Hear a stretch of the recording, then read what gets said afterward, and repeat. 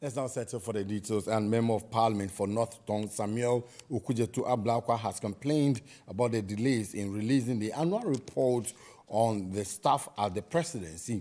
According to him, the delay in the release of the report undermines the authority of the legislature.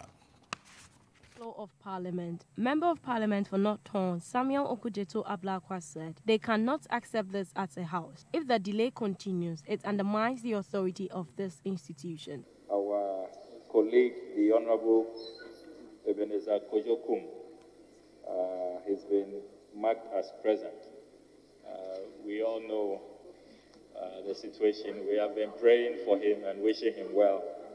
Uh, I do not believe that he was here, at least before we walked out, he wasn't here.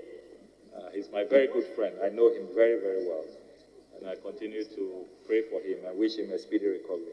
Uh, Mr. Speaker, he wasn't here. So our records must reflect that he was not in the chamber. Reacting to this, the Deputy Majority Leader, Alexander Afenyo Markin, took issue and demanded a withdrawal of the submission, which led to a heated argument. the, the Fiamma Paul Nelson, uh, Bismarck Tete. We've had all of that long list. Mr. Speaker, apologize to who? We are going to set a certain precedent. Mr. Speaker, Mr. Speaker, for the time being, a leader is on his feet, and the backbench must learn to respect leadership. This is reckless heckling.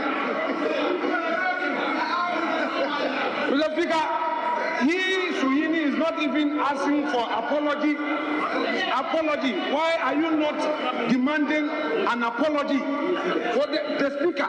You've indicted the Speaker this morning. Why are you not apologizing to the Speaker? Why are you not apologizing to the clerk?